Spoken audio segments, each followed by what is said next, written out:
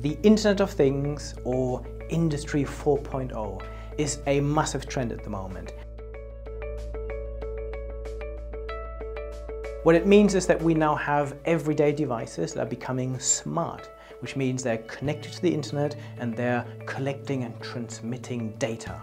So we've seen things like smartphones, smart watches, smart thermostats, smart TVs, um, but soon we'll see lots of other items becoming smart from our office chairs to our cars to our kettles to our washing machines and even our shoes and t-shirts. And what this allows organizations to do is to rethink the way they interact with customers. It helps them to rethink how they actually run their operations. So companies like Nest have developed smarter products and smarter services.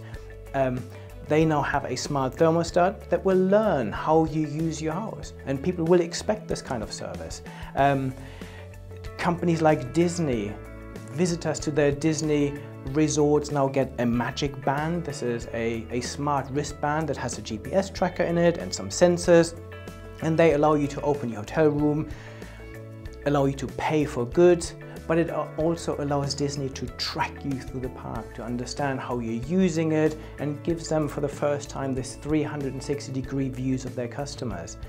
So any customer, whether any, any company, whether you're producing washing machines, if they're connected to the internet, suddenly you can, you can gain an insight into how, how customers are actually using your product.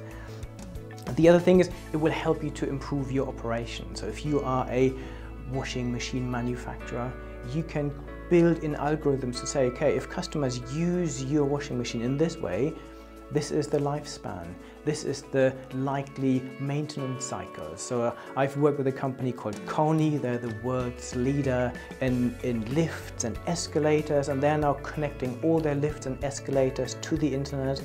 And they can now predict when a lift is likely to break down, and they will then make sure that they schedule these service visits and replace parts before any lift actually ever breaks down. So it's really changing how businesses operate. And this is what I do in my work. I help organizations understand the implications of the Internet of Things, what it means for this industry 4.0 and, and how organizations can actually leverage all of this for their business benefit.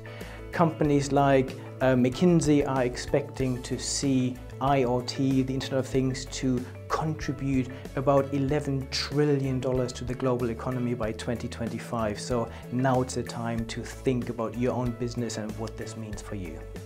If you would like to learn more, head to my website at bernardmarr.com where you can find tons of articles, white papers and videos that will give you a lot more insights into real world case studies and examples.